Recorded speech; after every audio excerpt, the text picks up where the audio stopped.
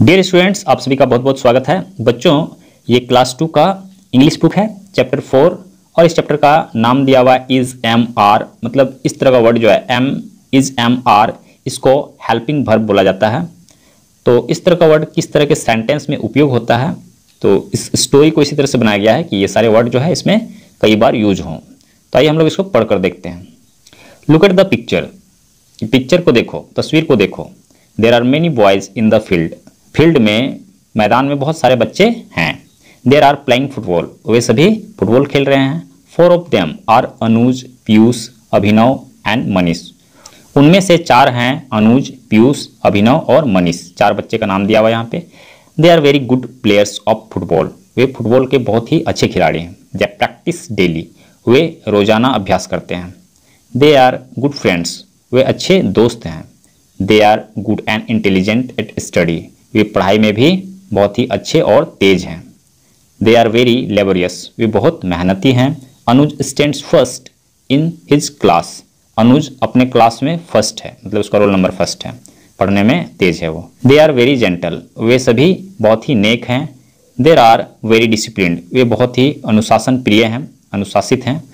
Once I asked Piyush how old are you एक बार मैंने पीयूष से पूछा कि तुम कितने साल के हो? तो उसने क्या जवाब दिया? He said I am twelve years old मैं बारह साल का हूँ. यहाँ पे देख रहे हैं, ये चारों बच्चे का नाम दिया हुआ है। यहाँ पे है, ये एक, दो, तीन, चार, इस तरह से दिया हुआ है। तो और इसके नीचे क्या दिया हुआ है? Anuj is wearing a white shirt तो यहाँ पे जो बच्चा वाइट शर्ट पहना हुआ है, उसका नाम अनुज है। अनुज ने वाइट शर्ट पहना हुआ है। Piyush is wearing a green shirt और पीयूष ने हरे रंग का शर्ट पहना है। यहाँ पे ये लड़का जो है, ये हरे रंग का शर्ट पहना है। Abhinav is wearing a red shirt and Manish is wearing a तो अभिनव जो है, वो लाल कलर का शर्ट पहना है, ये है। और मनीष मनीष जो है, वो किस कलर का है? पिंक कलर का है। यहाँ पे नीचे दिया है।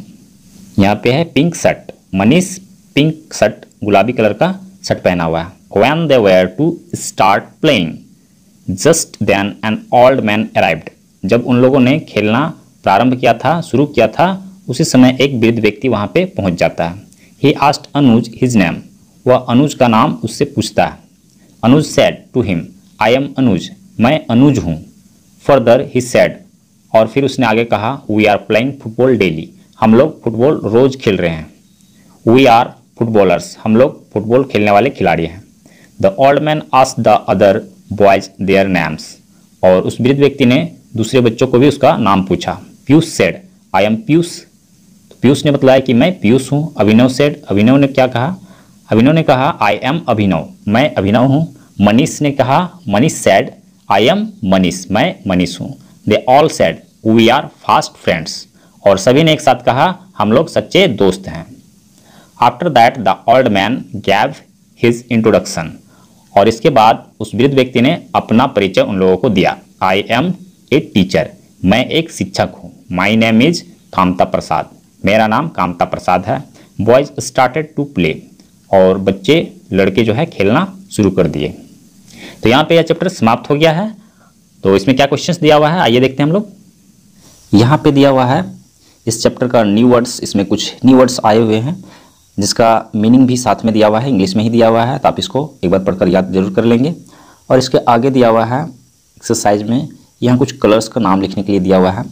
Look at the colours and write the names of colour in the given spaces तो इसके लिए यहाँ पे जगह दिया हुआ है और ये किस कलर का है? तो उसका नाम लिखना है, जैसे कि रेड कलर हो गया रेड हो गया या रेड लिख लेना है और यहाँ पे ग्रीन लिख लेना है।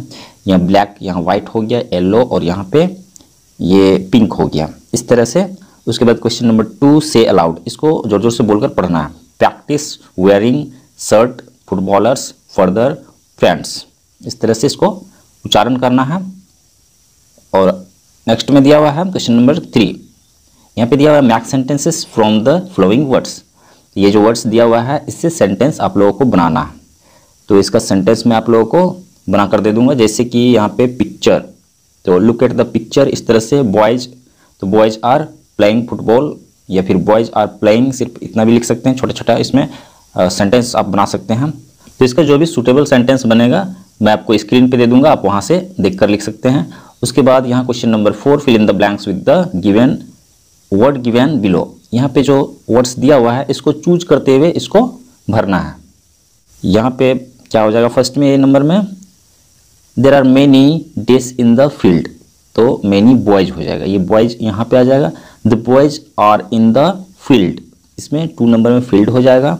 उसके बाद सी नंबर में they are dash friends they are fast friend fast यहाँ पे फास्ट का मतलब सच्चा हो जाएगा, वे सच्चे मित्र थे। उसके बाद Anuj. Anuj is a good Anuj is a good तो यहाँ पे क्या हो जाएगा? फुटबॉलर हो जाएगा। गुड फुटबॉलर और they are very gentle they are very gentle तो यहाँ इस तरह से कंप्लीट हो जाएगा। और इसमें क्वेश्चन नंबर फाइव यहाँ पे भी भरने के लिए दिया गया है, लेकिन इसमें ग्रामेटिकली दिया हुआ है, ये ग्रामर से दिया हुआ है। तो फिर अब द करेक्ट हेल्पिंग वर्ब ये सब वर्ब है हेल्पिंग वर्ब है। Taking out of the bracket helping verb और मैन वर्ब क्या होता है, इसको आप जब ग्रामर पढ़ेंगे तो आपको पता चलेगा। तो यहाँ पे फ़िलहाल ये दिया हुआ है उसी तरह का। तो दे के साथ आर लगता है, दे आर प्लाइंग फुटबॉल ठीक है आई के साथ एम लगता है तो एम यहाँ पे आ जाएगा। और आई के साथ फिर एम लगता है तो यहाँ भी एम आ जाएगा।